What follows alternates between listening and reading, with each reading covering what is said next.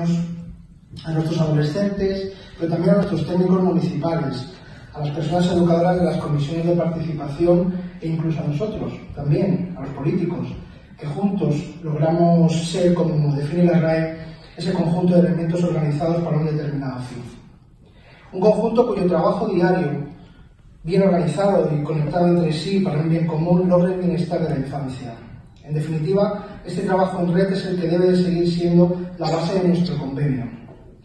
Como bien explicaba la alcaldesa de Collado Villano, María Dolores Vargas, se sigue manteniendo buenas relaciones con administraciones públicas eh, autonómicas.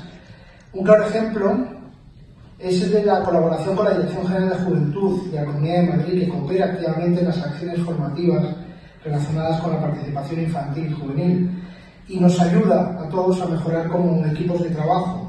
Y eso siempre es de agradecer y valorar positivamente porque las administraciones locales, las más cercanas a los ciudadanos, sobre todo a nuestros jóvenes, necesitamos de ese apoyo decidido de nuestra comunidad autónoma.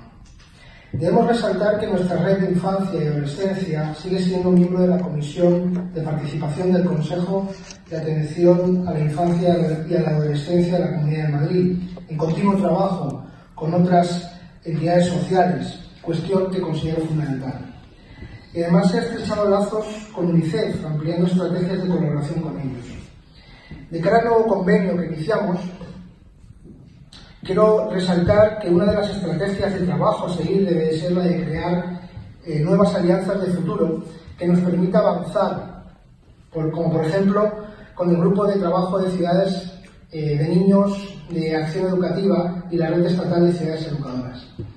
Además, debemos retomar relaciones y el trabajo con organismos como la Federación Española de Municipios y Provincias para restablecer la línea de cooperación y formación entre municipios en materia de juventud e infancia. También con la Comunidad de Madrid para participar en la creación del Observatorio de la Infancia, tan necesario. También con la Plataforma de la Infancia para que los niños y las niñas de nuestro municipio estén presentes en las acciones que se realizan a nivel nacional.